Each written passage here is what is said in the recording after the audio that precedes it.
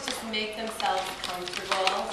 Sometimes it takes a couple minutes to let- have the dog start to chill out a little bit.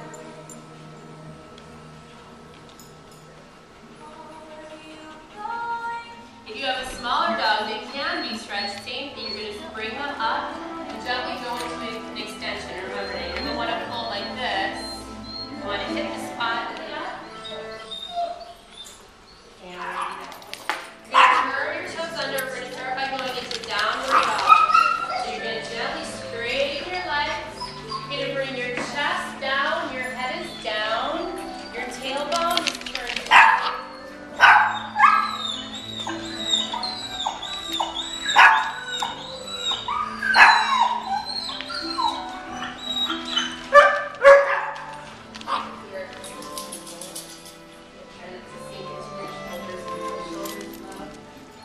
It back to your breathing.